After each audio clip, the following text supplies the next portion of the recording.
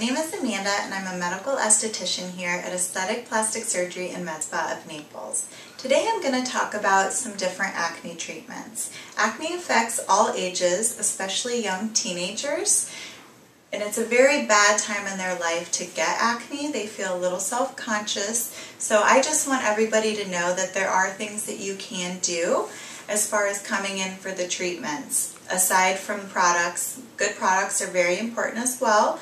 Medical grade products that you do get at a dermatologist or a plastic surgeon's office are probably best.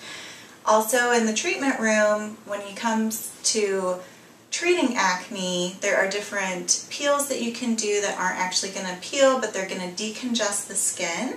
And we also can do extractions. A lot of people like to pick, and that is what causes scarring. So the number one rule with acne is no picking. Allow a professional to do it for you.